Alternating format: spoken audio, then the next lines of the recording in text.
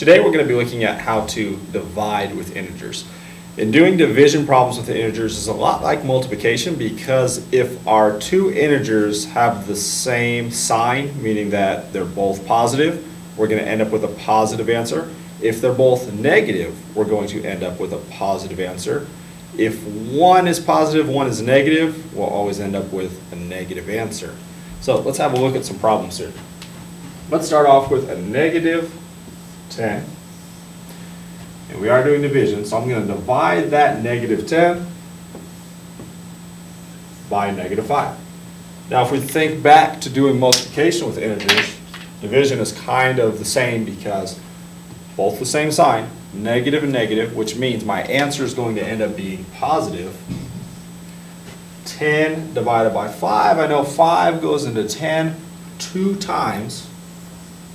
Just once again, since both of our integers have the same sign, meaning that they're negative, negative, negative gives us a positive answer. Let's look at another one now. And this time around, they're going to have different signs. So let's take negative 15, and we're going to divide our negative 15 by positive 3. So we have different signs now, a negative and a positive. So my answer is going to have to be a negative.